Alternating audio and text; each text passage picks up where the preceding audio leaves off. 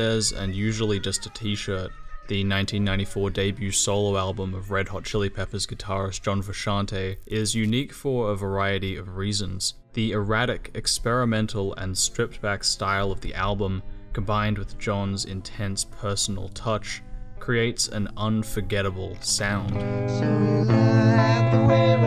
But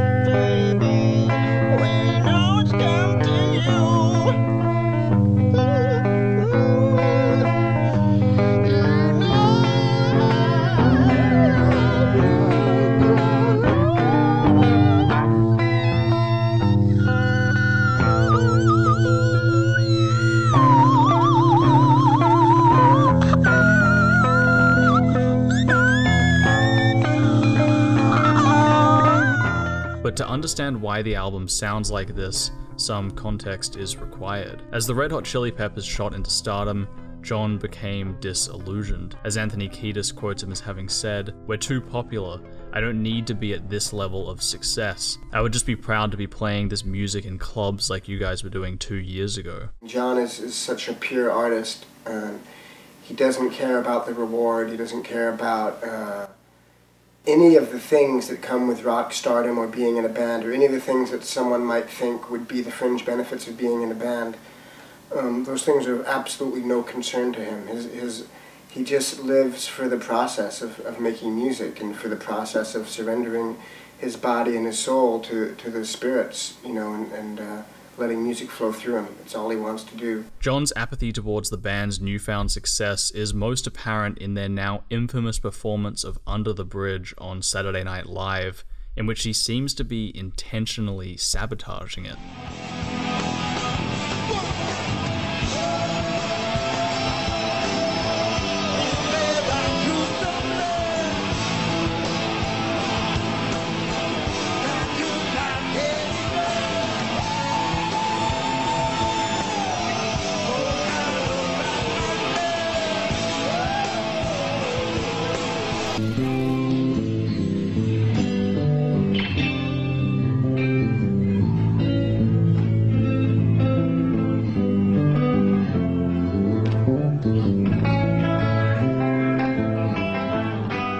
This stare between a slouched over and possibly heroin affected John and a disdainful Anthony really says everything about the state of the band at the time. John quit a few months later. It was around this time that John became severely addicted to heroin, something that would profoundly influence the sound of Niandra LaDes and usually just a t-shirt. Okay, you want me to say something soulful? Drugs. I'm a junkie and I love shooting up, and I'm and that, that means I'm self-destructive, and you know, is that good enough? I don't know. Did you feel it was a true statement, or Yeah. Oh, okay. But now you just said you're you're shooting up. You're using heroin. I mean, what about that? That's that's something pretty heavy, isn't it? I, people say so. I, I don't know what that means really. Like I don't think of it as being any sort of naughty thing or anything.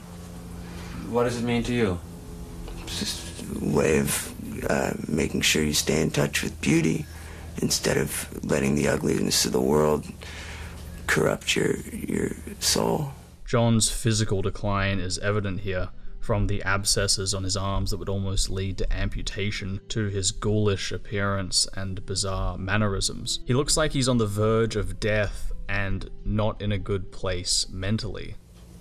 And, and you, you don't care if that destroys your body or doesn't it? I don't doesn't know. destroy my body. I feel great. If I didn't feel great, I'd change the way I live. I'd start running or something. I mm. feel great.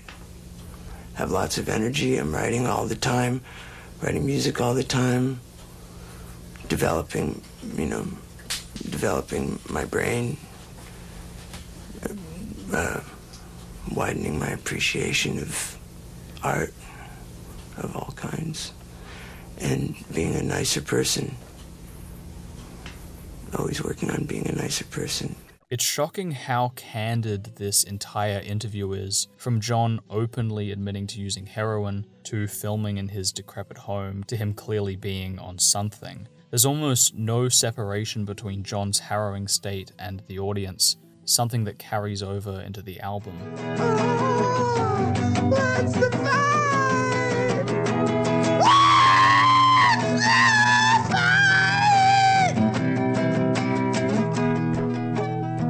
Typically when artists get addicted to hard drugs, they drop out of the public spotlight or simply die. It's rare that we get to hear music from inside the belly of that beast, and especially in a manner as open as this. Usually, it's filtered through a producer or fellow band members or the sterile world of the studio. The first half of Niandra and usually just a t-shirt was recorded entirely by John in his living room. Because John was able to control every aspect of the album, including whether or not he was on heroin or other substances, Niandra is able to achieve an intense personal fusion that few albums are able to replicate. There's no need to recreate the pain of the experience, because it's clear that he's in the midst of living it.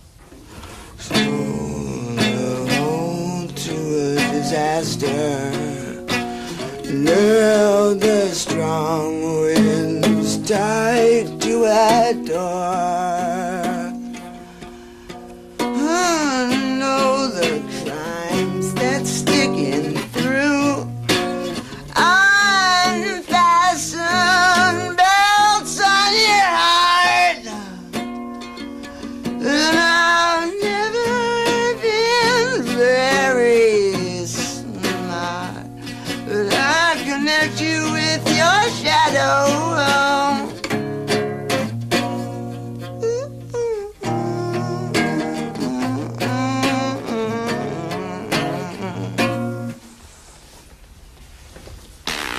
No, I mean, I don't think any guitar player sounds like any other guitar player. To me, um, when you hear the sound of a guitar, you hear that person's nervous system, that person's skin, that person's flesh, that person's um, psyche. I, I, I just feel like everything in a person comes through in their guitar, and that's why, like, you can hear it's Marc Bolan from him playing one note. You know, he's not like he's not like Jimi Hendrix or Jimmy Page. Nevertheless, like it's every bit as identifiable, you know. If a guitar can convey the sound of a person's skin, flesh, and nervous system, then Niandra LaDes sounds exactly like John appears in this interview. His soul seems to haunt the album in an ethereal way, and it's hard to convey how John does this, but it's almost like he uses his guitar as a portal into his subconscious. It's it's like I'm in the fourth dimension, and somebody's asking me to describe it verbally, and that's what the fourth dimension is all about. Is no words, no symbols, no images, all pure, real energy and vibrations. John uses his guitar and voice in a way that is almost impossible to convey the emotional weight of in words or short snippets. And there's no clear way to analyze the album in a neat manner, probably because it's meant to be experienced above all else. The lyrics are almost entirely stream of consciousness, often following narratives that fade into one another like dreams.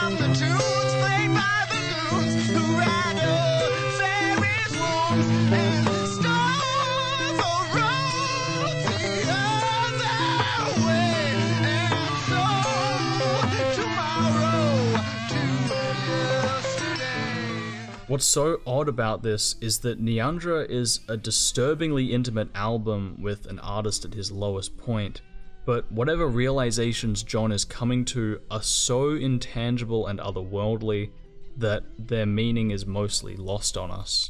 Usually, just a T-shirt was recorded in the order that it appears um, on the record. So, uh, the the earliest things on it were recorded during you know during the writing process of Blood Sugar, and the last things recorded on it were just before I quit the band.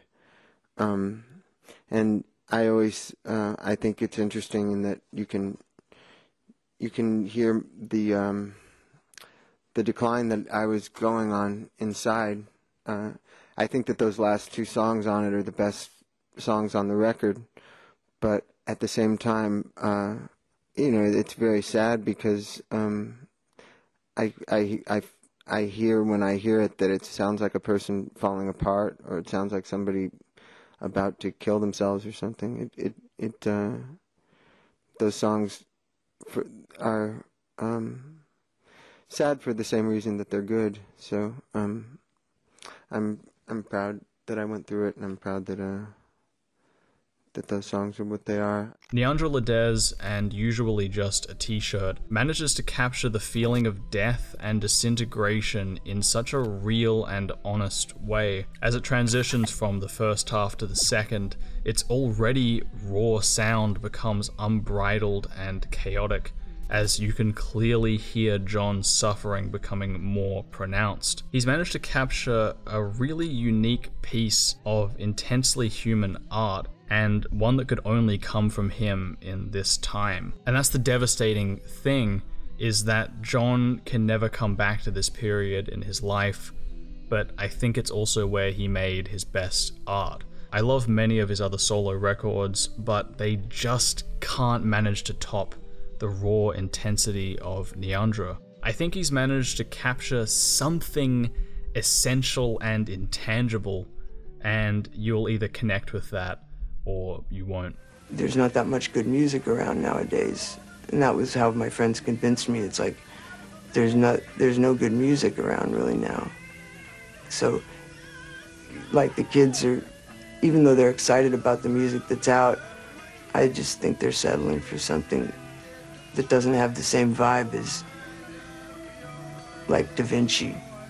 Like to me, the really good music, like Jane's Addiction and Jimi Hendrix and and uh, you know, just things of that caliber, has the same vibe as Da Vinci in my head. Like there's something in it that ties together all artists from all times. Mm. And uh, no bands around now really have it, you know, and this music does, so I released it.